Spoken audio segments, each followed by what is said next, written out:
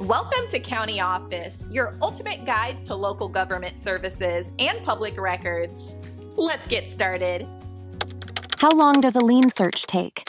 Ever wondered about the time it takes to search for a lien? It's like waiting for bread to toast.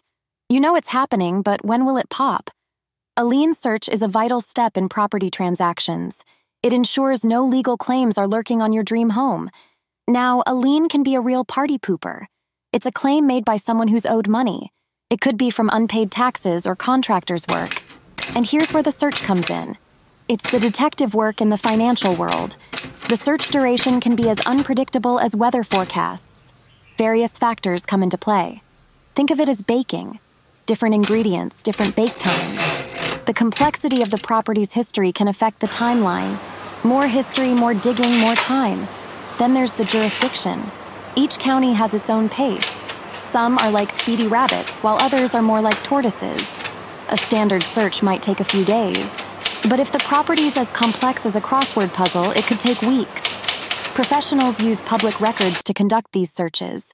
They're like librarians of the legal world. They scour through records, ensuring no stone is unturned. Remember, patience is a virtue, especially when it comes to lien searches. It's all about protecting your investment. So the wait? Totally worth it.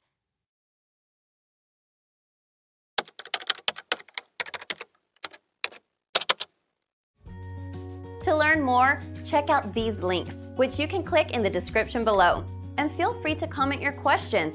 We're here to help. Thanks for tuning in to our video. Please like and subscribe and leave a comment below. See you in the next video.